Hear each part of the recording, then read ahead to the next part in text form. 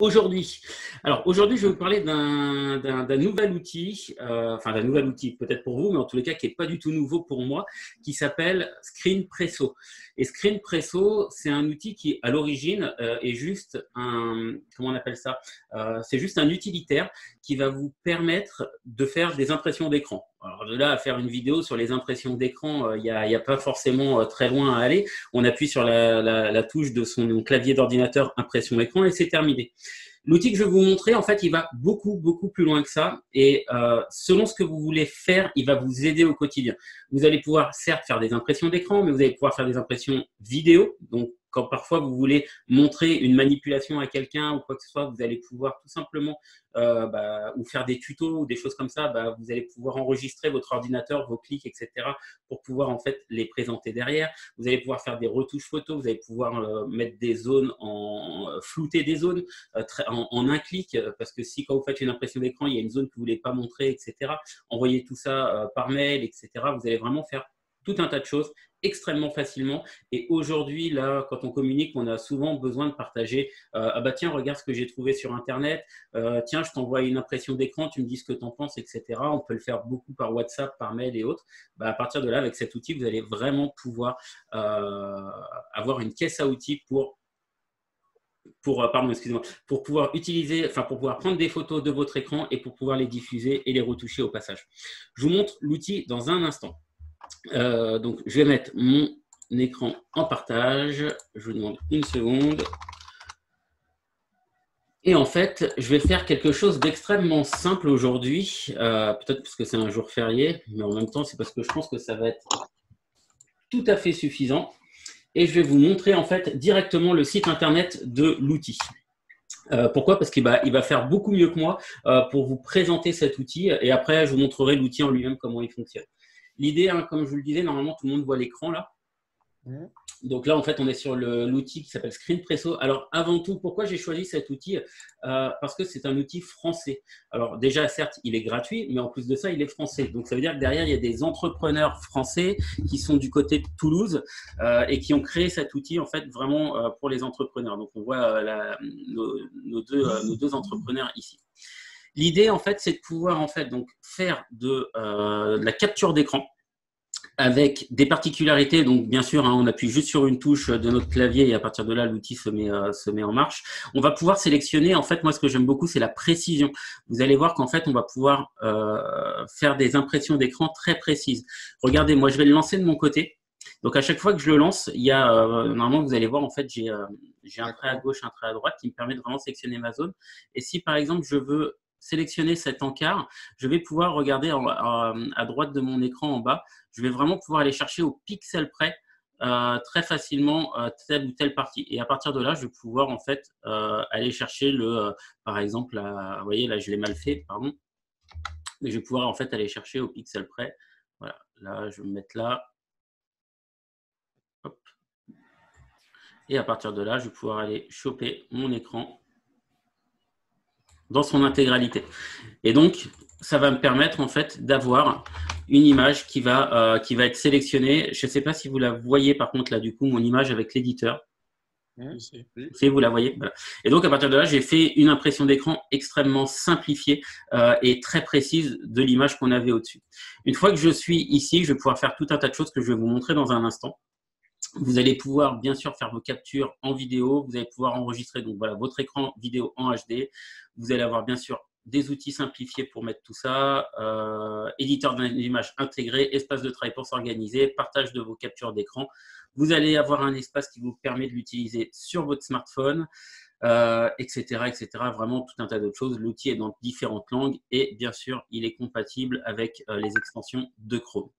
Je passe tout de suite sur euh, l'éditeur d'image du coup. Donc là, je viens de faire une impression d'écran ici. Alors, je vais en faire une un peu plus sympa pour l'exemple. Je vais prendre admettons ici la page de Comires. Je ne sais pas si vous voyez bien, mais l'outil, il a sélectionné une zone rouge.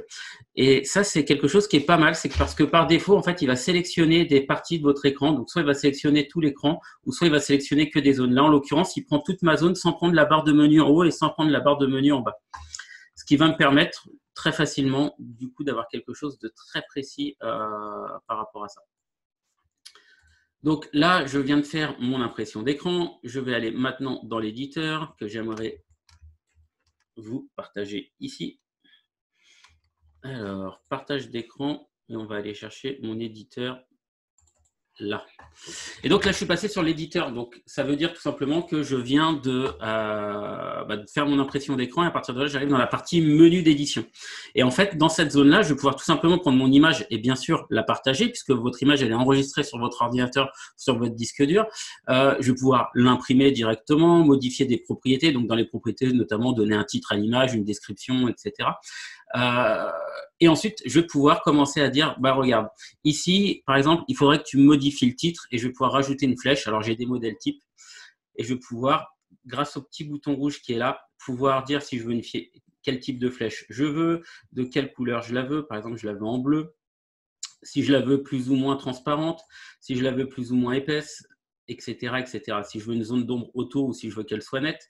Et à partir de là, vraiment, je vais pouvoir sélectionner des choses et puis rajouter, bah voilà, dans cette partie-là, je veux que euh, euh, pense, pense à mettre un point, par exemple. Et à partir de là, voilà. Maintenant, si l'écriture ne me plaît pas, toujours ici, je vais avoir un menu qui va dire, je vais prendre une police d'écriture beaucoup plus simple voilà, ici, je ne veux pas mettre la zone d'ombre parce que ça ne me plaît pas, et puis je vais changer la couleur du texte pour que ça se voit bien, pour qu'il puisse faire éventuellement une correction ici. Et à partir de là, voilà, je vais pouvoir passer un message comme ça ou annoter en tous les cas un document. Euh, je vais pouvoir donc rajouter du texte, mettre des flèches, sélectionner par exemple une zone ici.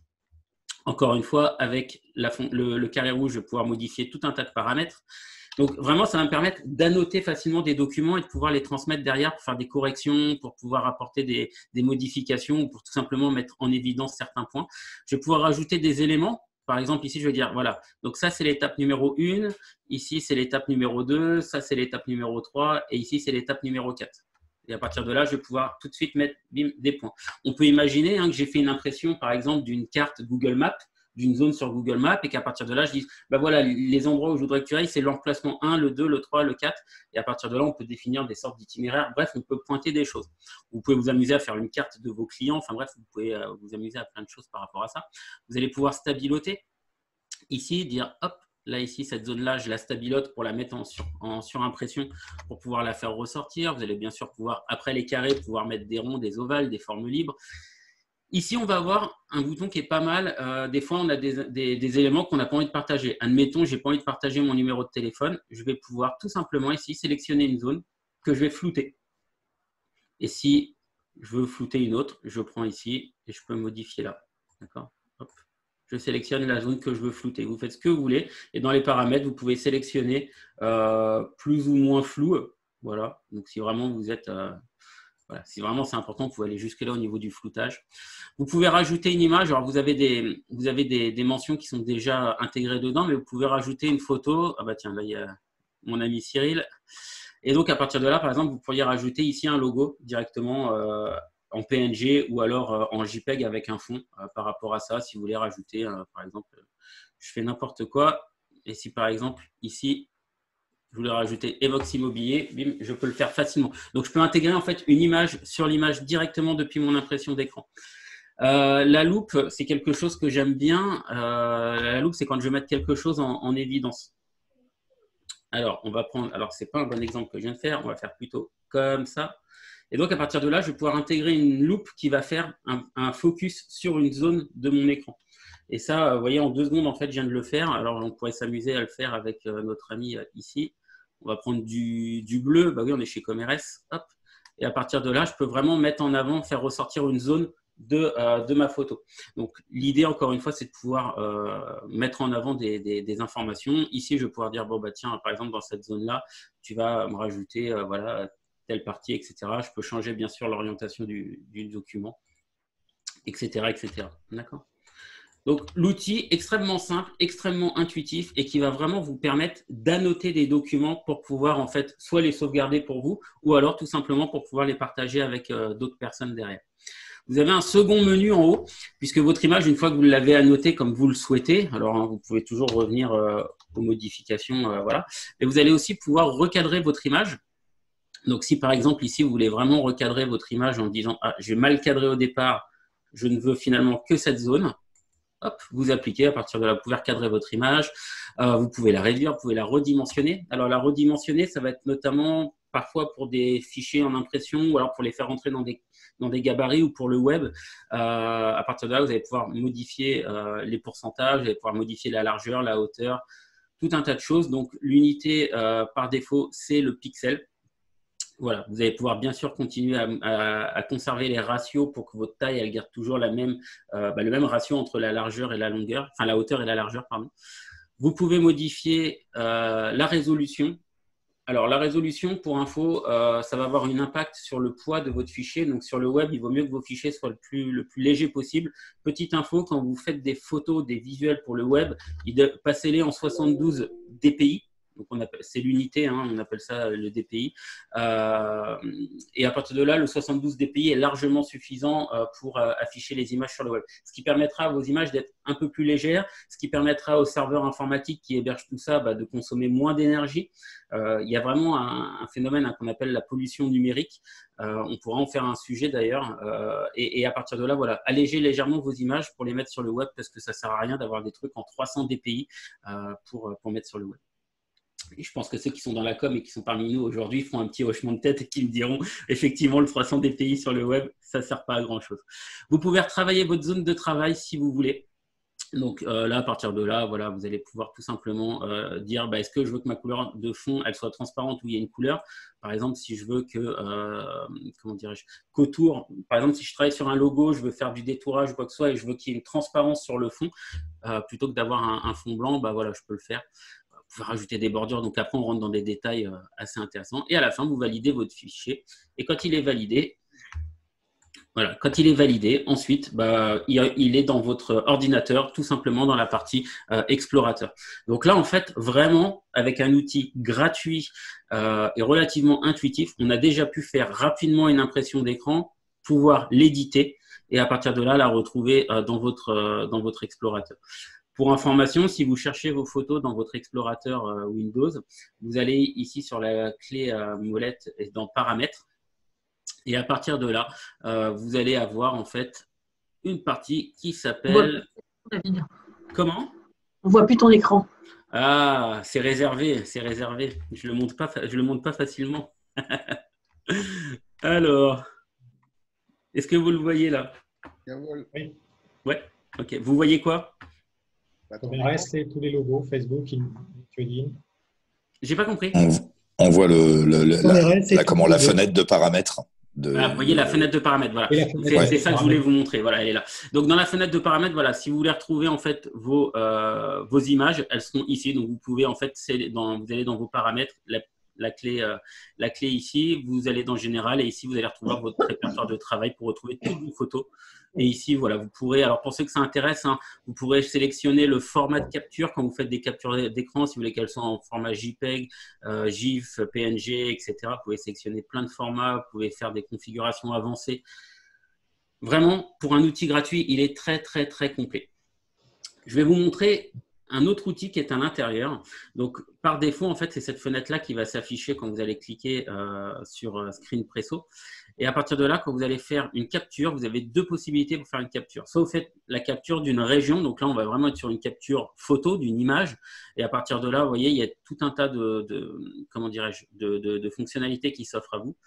Et donc, vous, alors en général, on va sélectionner vraiment une région. Hop, on y va. Et à partir de là, ma région, elle est prise. Essayez, c'est terminé pour faire des captures vidéo. Vous avez ici bah, tout simplement le bouton vidéo. Et là, vous avez euh, en fait la possibilité de sélectionner le format de votre image. Donc, vous pouvez le sélectionner, vous voyez, pour une visualisation sur YouTube, sur YouTube en HD, euh, ou alors tout simplement plein écran, etc. Moi, par défaut, ça va me sélectionner la taille euh, de mon écran Full HD. Et ici, je vais pouvoir mettre des paramètres qui vont me permettre, par exemple, d'enregistrer ma vidéo au format MP4, qui est un format très contemporain. Euh, afficher un compte à rebours pour me préparer euh, directement, euh, voilà, afficher un cercle autour de ma souris si j'ai beaucoup de manipulation pour que les gens voient bien ma souris, marquer quand je fais un clic, de manière à ce que quand je fasse un clic, il y ait une petite animation qui se mette pour que les gens voient bien que j'ai cliqué sur, sur cette partie-là, enregistrer en même temps ou pas le son, de, le son du micro, etc., etc. Donc à partir de là, vraiment, vous pouvez personnaliser votre action et une fois que c'est réglé, vous lancez et là, ça y est, donc là, c'est en train de s'enregistrer. Et quand c'est terminé, vous, allez ici pour arrêter. Et à partir de là, vous allez avoir un éditeur. Voilà, merci David. On va pas être deux David à se parler en même temps, ça va être compliqué. Euh, et une fois que c'est terminé, vous pouvez faire euh, votre montage, etc. Enfin, vous pouvez faire un petit montage en tous les cas avec cet outil-là. Et après, vous enregistrez votre fichier au format MP4 ou alors vous le supprimez comme vous voulez. Et c'est terminé. Voilà. Donc aujourd'hui, voilà, c'est vraiment un outil que je voulais vous montrer qui me paraît vraiment euh, très complet et qui va vous permettre, en tous les cas, quand vous avez des impressions. Alors, pour ceux qui travaillent pas du tout dans l'image, c'est pas évident, mais pensez que des fois, sur des projets, euh, je prends un exemple, hein, moi, j'utilise beaucoup avec mes clients, notamment quand on est en phase de création sur un site web. Euh, des fois, ils vont me dire, ah bah là, regarde, j'ai telle modification, j'ai tel truc, etc. Bah, moi, des fois, je leur propose cet outil, je leur dis, bah, fais une impression d'écran. Des fois, moi, j'ai des gens, quand ils me font des impressions, ils sont encore à prendre leur smartphone et à faire une photo de leur écran d'ordinateur. Je sais que ça peut vous faire sourire, mais je vous promets que ce n'est pas des cas isolés. Euh, il y a des outils simples, gratuits et qui sont relativement intuitifs, en tous les cas je trouve qu'il l'est, qui peuvent vous permettre d'avancer et de faire un travail beaucoup plus professionnel pour vous et ou pour vos clients. Qu'est-ce que vous en pensez? Très bien. Merci Fred. Super, super, super intéressant euh, le truc avec, la, avec, avec la, vidéo parce que tu sais, des fois, euh, moi qui fais des, des, conférences euh, avec la magie, mhm. je pourrais tout à fait filmer en fait en vidéo quelque chose que je fais sur un écran où j'explique ou sur une vidéo déjà existante. je trouve ça vraiment tip top quoi. Ouais. Alors là, il faut bien garder en tête une chose dans ce que tu es en train de dire, Pascal, c'est que c'est pas un outil qui va te permettre forcément de te filmer avec une webcam pour enregistrer une vidéo. D'accord? Euh, Ça va plutôt être un outil qui va, enregistrer ce qui se passe sur ton écran de travail euh, pour que tu puisses montrer. Par exemple, moi, c'est ce que j'ai. Alors, j'ai pas utilisé celui-là hier, mais j'en ai utilisé un autre, mais c'est ce que j'aurais pu utiliser hier pour le tuto que j'ai fait, que j'ai mis sur YouTube sur le logiciel, où euh, bah, je me suis baladé sur un site web où je vous ai montré des outils, des fonctionnalités, j'ai parlé en même temps et à la fin, en fait, j'ai fait une capture de mon écran. C'est ce qu'utilisent aussi des gens quand ils font des jeux vidéo sur ordinateur, ils peuvent utiliser ça. Après, ces gens-là, ils ont d'autres outils qui sont plus spécialisés, mais ils peuvent utiliser ça pour montrer, bah, regardez, quand tu arrives sur ce jeu, tu peux cliquer là, là, il y a un passage secret, il y a ceci, cela. Vraiment, vous pouvez montrer plein de choses. Après, pour se filmer et montrer ce qu'on fait… Non, non, moi je me filme pas. C'est quand je filme par exemple des visages avec des micro-expressions et tout ça, euh, quand j'explique les trucs de mentalisme et de PNL. En fait, ça permet, tu vois, de, de, montrer la zone où il y a eu ce rictus, où il y a eu ce froncement de sourcils, euh, l'écartement des pupilles et tout, quoi, tu vois. Et donc c'est super intéressant. Ah bah là, tu peux prendre des vidéos, admettons sur YouTube, euh, tu les prends, tu les mets, tu les fais passer sur ton écran. Et à partir de là, tu t'enregistres et tu fais tes commentaires en même temps. Et quand tu feras ton montage, tu pourras faire des arrêts, tu pourras faire de la voix off pour ajouter, etc. Donc euh, sans, sans, grande difficulté. Quoi. Ouais, c'est génial. Merci. Ok, bah de rien. Bon, l'idée, hein, c'est chacun de nous, on a des activités différentes. Donc, il y en a qui ont des activités entre guillemets plus bureautiques ou, euh, ou, euh, ou, créatives, d'autres qui ont plus des activités euh, manuelles. Et donc, à partir de là, il va vraiment être utile pour les gens qui sont derrière un bureau, qui ont des travaux administratifs à faire et qui ont voilà, des impressions d'écran, des petites choses à faire par rapport à ça. Des fois, ça peut être tout simplement pour faire une impression d'écran. Je ne sais pas, vous avez un mode d'emploi que vous devez faire.